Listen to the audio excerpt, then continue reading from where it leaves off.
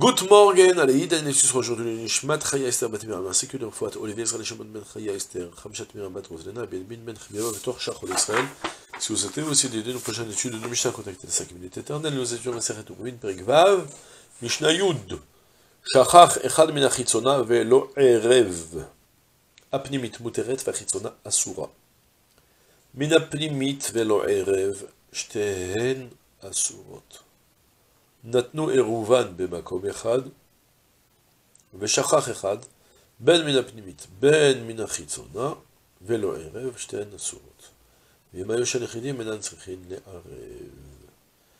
On a une Mishnah qui vient compléter tous les cas de figure possibles, euh, évoqués de la situation de, du, du, cas de la Mishnah précédente. Soit, je rappelle très rapidement la Mishnah précédente parce qu'on va avoir besoin euh, tout au long de la Mishnah en fait.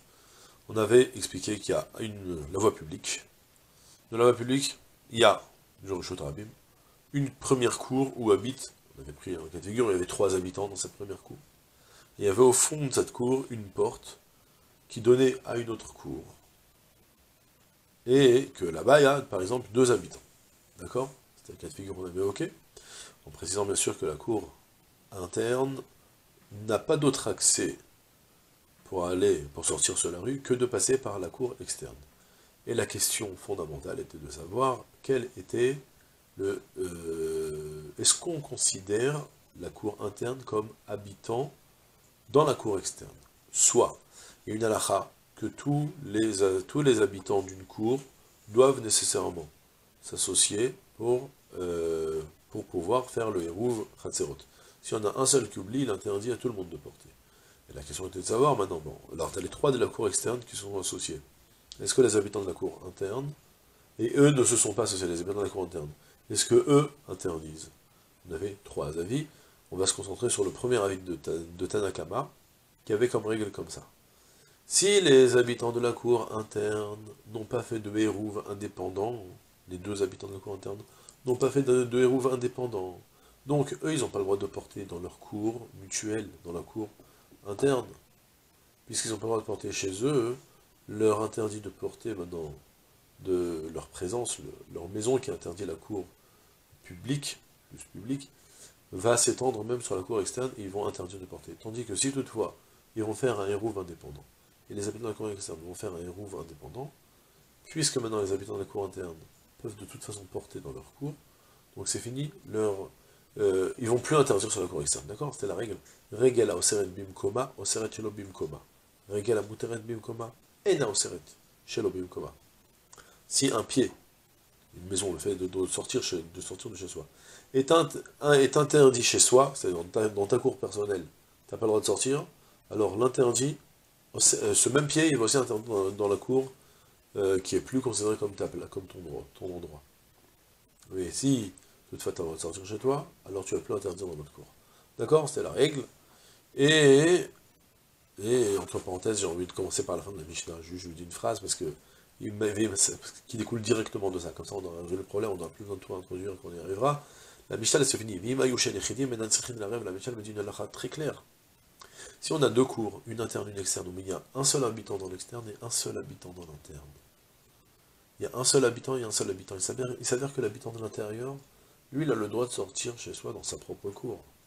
Puisque maintenant il a le droit de sortir dans sa cour, il ne va plus interdire dans la cour externe. Même s'il a un droit de passage dans la cour externe, il n'est pas considéré comme associé dans la cour externe, et donc il a le droit de porter de chez lui à sa cour, et après, même l'habitant de la cour externe a le droit de porter de chez lui à sa cour. Le fait qu'il y ait l'autre, l'interne, qui passe par ici ne dérange pas. Pourquoi? Selon la même règle. L'habitant de la cour interne, puisqu'il a le droit de porter dans sa cour, alors un pied qui a le droit, qui, qui est permis dans sa propre cour, personne dans son propre lieu, n'interdit pas lorsque c'est plus son lieu. D'accord? C'est le principe. Et maintenant, je recommence toute la Mishnah, qui est relativement simple au début. Shachach echad velo erev. Si toutefois, c'est un cas qu'on a évoqué dans la Mishnah précédente, qui fait... Si, il y a maintenant, donc on a dit, il y a les deux cours l'interne et l'externe. Pour le moment, on parle encore du cas où chacun fait un hérouve indépendant, il ne cherche pas à s'associer. Un de la cour externe n'a pas fait le hérouve à l'extérieur, Alors malgré tout, Apnimit Moteret, Achitsona, Asura. La cour interne est permise et l'externe n'a pas le droit de. Euh, elle est interdite. Notion très simple, très claire, très facile. C'est normal parce que si les habitants de la cour interne, eux, ont un droit de passage sur la cour externe, les habitants de la cour externe n'ont pas le droit de passage, n'ont pas le droit d'entrer dans la cour interne. S'ils ne sont pas invités, on leur ferme la porte et ils ne rentrent pas ici. De ce fait, leur présence, leur euh, non-association dans le Hérouve ne me dérange pas du tout, parce qu'ils n'ont pas le droit d'entrer ici de toute façon, je leur ferme la porte, et moi j'habite avec mon cher voisin, on est tous les deux, on s'associe, on a fait le Hérouve, il n'y a aucun problème. Par contre, si c'est le cas inverse, c'est la minaplimite vélo si c'est un des habitants de la cour externe qui n'a pas fait le Hérouve, tandis que les habitants de la cour externe ont fait un Hérouve indépendant, alors là, Shten et les deux sont interdits, c'est une reprise intégrale de la Mishnah précédente pour le moment. Mais là, il y a le grand chidouche. Maintenant. Maintenant, on ne va plus parler du cas où chacun a fait un hérouve indépendant. On va parler du cas où ils ont fait un hérouve commun aux deux cours. Et ils l'ont mis dans un endroit spécial. Bemakom dans un endroit. En réalité, je vous dis tout de suite, je vous vends la mèche, on parle qu'ils l'ont mis dans la cour externe. C'est très important, on expliquera ensuite pourquoi. Donc en fait, on a les deux et les trois qui ont voulu faire un très grand hérouf commun. C'était important, entre parenthèses, de faire un hérouf commun, parce que si chacun fait le hérouf tout seul et que chacun a le droit de porter chez soi, on n'aura pas le droit de porter d'une cour à l'autre. Ça veut dire qu'en fait, si on a les enfants qui ont envie de jouer avec les. comment dire, avec leurs leur euh, jouets, et de, de leur camion, et leur vélo, et leur truc, vélo, Shabbat, non, c'est pas. Leur petit camion, leur bimba, et ils ont envie de le faire rentrer dans notre cour, ils n'auront pas le droit de le faire si on n'a pas fait un hérouf commun. Donc du coup, les parents, ils se sont associés, pour qu'on fasse un hérouf commun. Et qu'est-ce qui s'est passé? Il y a eu un habitant qui a oublié de payer sa cotisation. Un habitant parmi les cinq. Soit un des deux, soit un des trois. Alors on a deux cas de figure. Et attention, j'insiste. Ils ont mis où leur héros Bemakomechad, dans un endroit, mais c'est dans quel endroit? Be Ba Chitzona, dans la cour externe, comme il dit le Bartanora dans la première phrase. Dans la cour externe. D'accord? Ils ont mis leur hérouve là-bas, donc en fait on reprend la situation. On a maintenant les deux internes, et on a les trois externes. On s'est tous associés pour faire un très grand hérouve. On a posé le hérouve commun dans la cour externe. Et qu'est-ce qui se passe? Alors il s'avère que quelqu'un a oublié de payer sa cotisation. Alors on a deux cas de figure. Shachach echad ben minapnimit ben minachitzona velo erev asurot que ce soit un habitant, il, y en a un qui a oublié, il y en a un qui a oublié de cotiser, ben apenimit, ben, ben minapinimit, ben minachitsana, que ce soit un habitant de la cour interne, ou que ce soit un habitant de la cour externe, dans les deux cas de figure, vélo et rêve, il ne sait pas Eshten à Surot, et les deux seront interdits de porter, et il n'y aura même plus la possibilité de faire un bitoul reshoot. Et là, on explique un petit peu mieux. Vous vous rappelez que lorsqu'on est trois habitants dans une maison, dans, dans une cour, deux qui ont fait le héros, un qui oublie, celui qui oublie, il annule son reshoot aux autres. Première notion.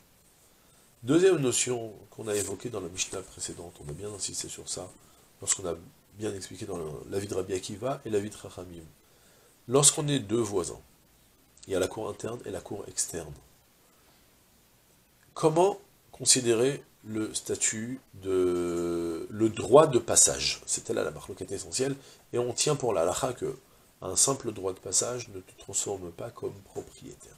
J'aboutis directement, l'axiome que je veux tirer là-bas, c'est que si moi j'habite dans la cour interne, j'ai peut-être un droit de passage sur la cour externe, je peux leur casser les pieds, les embêter si je ne cotise pas avec eux, c'est vrai. Mais malgré tout, j'habite pas chez eux. Et c'est là le drame. Parce que, en fait, en fait, ça se passe comme ça. Lorsque euh, il y a deux cas de figure à expliquer dans la Mishnah. Il y a la cour interne et la cour externe. On s'est tous associés dans, et on, s'est tous associés, on a mis le hérouve dans la cour externe. Pour le moment, on vient, et après on expliquera qu'est-ce qui se passe dans la cour interne. Pour le moment, on mis dans la cour externe. Il y a deux cas de figure. Il y a le cas où il y a un, habitant de l'intérieur qui oublie de, de, cotiser avec les autres. Donc on a les trois de l'externe qui ont mis leur hérouve. Eux, ils ont fait un hérouve. Mais on a un qui habite à l'intérieur qui n'a pas fait le hérouve avec eux. Qu'est-ce qui se passe quand il ne fait pas le hérouve Catastrophe. S'il ne fait pas le héros, il a une maison chez sa maison, il n'a plus le droit de sortir de, sa maison jusqu'à dans sa propre cour, puisque tu n'as pas cotisé. Tu n'as pas cotisé, tu ne peux pas sortir. Il s'avère que maintenant tu deviens un régel à Surabim Koma. T'as plus le droit de porter chez toi, dans ta cour. Ah, t'as pas le droit de porter chez toi, t'as même pas le droit de porter... Ah, tu interdis à cause de toi, t'interdis le voisin, selon la règle. Régel à Surabim Koma ou Seret Koma. Si toi, t'as pas le droit de porter chez toi, ton d'accord, t'as pas le droit de faire sortir de chez toi jusqu'à ta cour, et ben dans ce cas-là, ta présence, ta maison qui est interdite, va s'étendre même dans la cour d'à côté. Régal au sein Koma, au sein Koma. Bitul Reshut ne marchera pas non plus, entre parenthèses, il pourra pas annuler. Il pourra peut-être annuler sa propriété pour que son propre voisin de la petite cour puisse porter.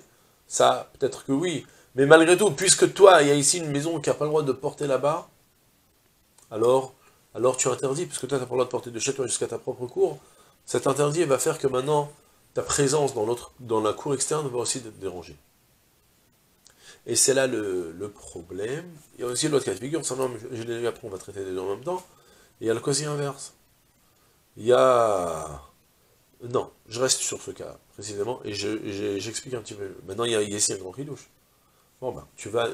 On a dit que sur la cour interne, tu peux annuler ta propriété à ton voisin. Ça veut tu lui cèdes le droit de porter. Et dans ce cas-là, lui, il aura le droit de porter dans cette cour. Mais il y a un problème. C'est que ta présence fait que, puisque tu as encore un droit de passage sur la cour externe, tu continues à leur interdire, parce que Régal au bien comme sur le même coma. Et là, c'est le grand ridouche. Tu peux même pas annuler ton droit de passage sur la cour externe. Parce que comme tu n'habites pas là-bas, c'est là le ridouche, comme tu n'habites pas là-bas, alors tu n'as rien à donner. C'est-à-dire quand j'habite, quand on habite, toi et moi, on habite tous les deux dans une cour commune, alors je peux annuler mon reshoot, comme ce qu'on a pris le bitul reshoot, dans ce cas-là, je te cède je te cède mon droit, et comme ça, tu deviens le seul propriétaire ici. Mais lorsque j'habite pas dans la cour externe, alors là, je peux même, j'ai rien à leur annuler. Je suis pas propriétaire pour leur annuler. Ils sont beaucoup plus propriétaires que moi. J'ai peut-être un droit de passage, mais je peux pas, moi, leur donner mon droit. Ils vont pas devenir eux les propriétaires et plus moi. C'est pas quelque chose que je leur donne qui va transformer que maintenant, ils s'acquièrent le... Ils s'acquièrent que maintenant, c'est devenu leur propre cours. Je peux plus annuler. Donc là, ça va être le cas catastrophique. Encore, on continue en plus, ensuite. Il y a le cas inverse maintenant.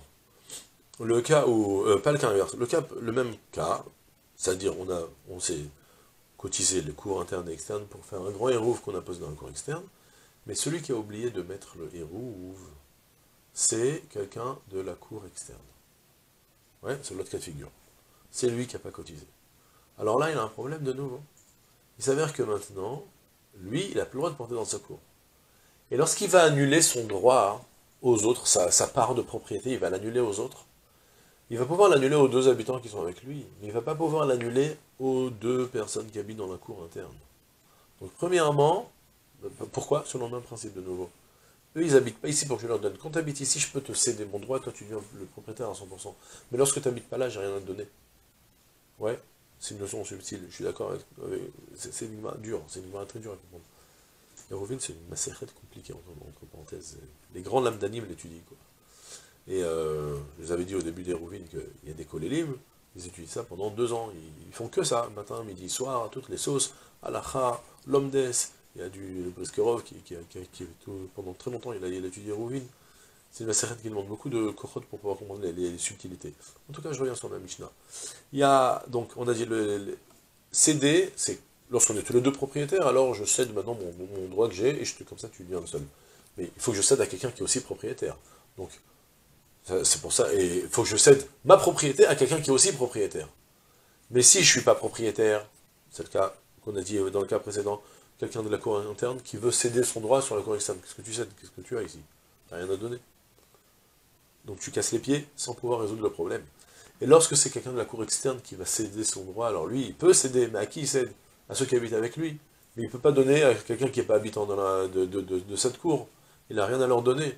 Et donc, du coup, il ne va pas leur résoudre leurs problèmes. Mais pire que ça, maintenant. Donc, il va peut-être...